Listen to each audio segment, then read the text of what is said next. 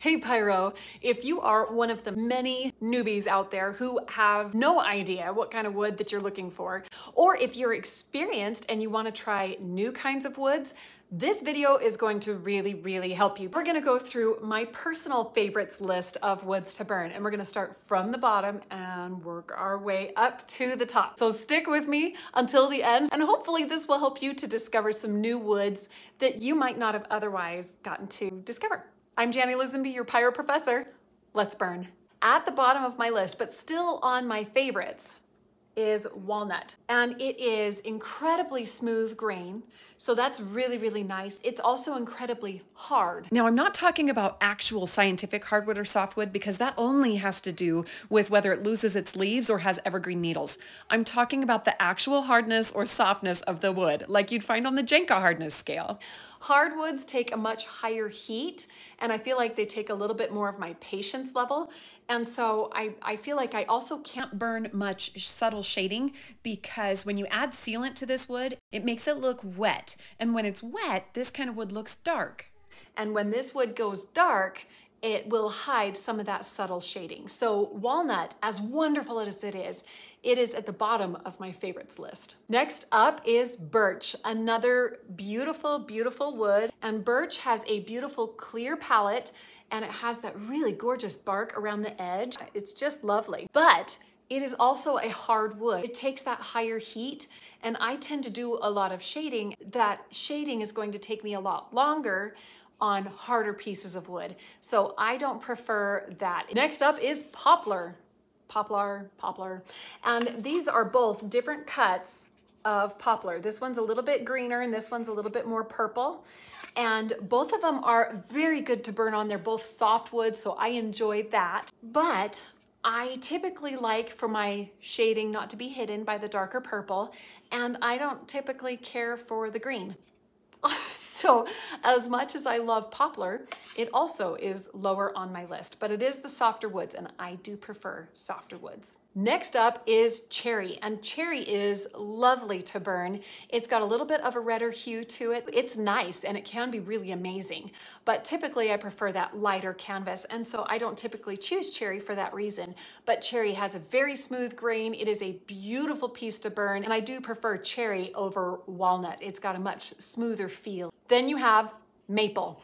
And maple is quite lovely. It's a little bit lighter than cherry and it's a little bit pinky hue to it, which I don't mind that at all. It is a hardwood and I prefer those softwoods, but this is a really nice hardwood. I feel like it's a little bit more smooth than burning walnut. It's a little more smooth for sure than burning birch. I really enjoy maple. If this video has been helpful to you, it'd be really awesome if you'd hit that like button real fast. That just lets YouTube know that I'm doing an okay job. And it helps the video get in front of other pyros who it could help. Then you have aspen. Aspen wood I think is a fascinating wood. See if you can see how interesting that grain is. And then look at this one. This one also has an interesting wood grain, and neither one of them are perfectly smooth in their color, but they are perfectly smooth in their grain. The wood grain is very nice to burn. It's also like burning butter. It is so fabulous. I feel like the colorations give me a little bit of a challenge. How can I incorporate the natural wood coloring? Because I think it's just fascinating. I love aspen wood. Another one of my favorites is sourwood. Sourwood has this really beautiful blonde wood look to it. It has that coloring that shows shading really, really well. And it also has this really interesting bark. When you get live edge sourwood, it almost has scallops on the edge, and I just love it. It's very unique to sourwood. It also is harder than say your softer woods like basswood and poplar, but it's not as hard as walnut or maple or cherry or even maybe birch. It's definitely a smoother burn than birch. I love burning sourwood. Next up is beechwood. These are typically the wood spoons that I sold for a long time in my Etsy shop. They're also really good for cutting boards and things like that. It's kind of like your maple in the sense that it's a little bit pinky sometimes, but it is still very soft and it will still burn at a lower heat. And so I can burn quicker, I can burn smoother, and it is like burning butter. It is so nice. Next up is basswood. Basswood is probably one of the most popular woods for pyrography ever And you can see it's got a fairly smooth grain. It has very few flecks in it. It does usually have some kind of freckles on it. Even with the knots, they tend to have a smoother wood grain than most woods out there. And so it's a really, really nice one. It is a soft wood and it is buttery smooth, delicious to burn. Number one, save the best for last, is willow. I adore burning willow. It has a very light canvas. It's got a beautiful edge to it. It is super smooth grained.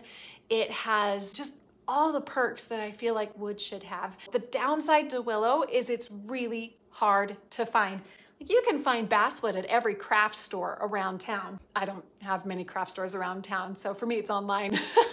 but you can still find it everywhere online. If I want to get willow, there are only a few shops on Etsy that I have found that source willow for me. It's just hard to find, but I adore Willow. I'm going to be posting a lot more videos, wood burning tips, tricks, and hacks. So if that's exciting to you, consider subscribing because I'm going to be posting more tips, tricks, and hacks like this video right over here that you'll probably want to watch next. I'm Jannie Lisenby, your Pyro Professor. Later, Pyro.